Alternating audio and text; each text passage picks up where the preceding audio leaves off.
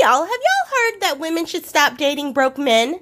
it's important to know that financial stability is just one aspect of a relationship and should not be the sole reason to stop dating someone. However, financial compatibility is a significant factor for you and everyone else that's on the planet. Here are a few reasons why some women might choose not to date broke men.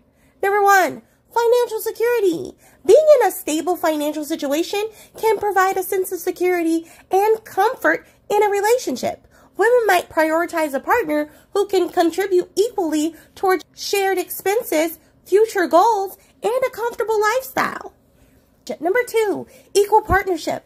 A relationship that is built on equality often includes financial compatibility. If one partner struggles financially while the other is financially stable, it can create imbalances and strains on the relationship dynamics. Number three, relationship growth. Financial stability allows couples to focus on personal and relationship growth rather than constantly worrying about money.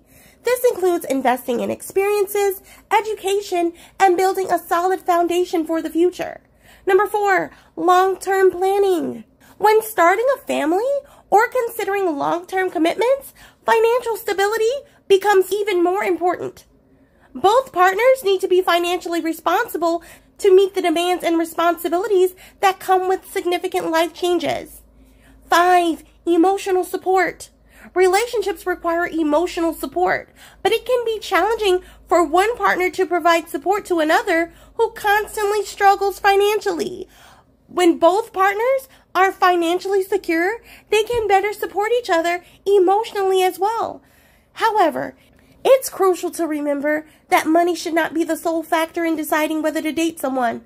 Love, compatibility, shared values, and various other qualities should also be considered when forming and nurturing a healthy, fulfilling relationship. You've got this. Please like, share, comment, and subscribe. Bye!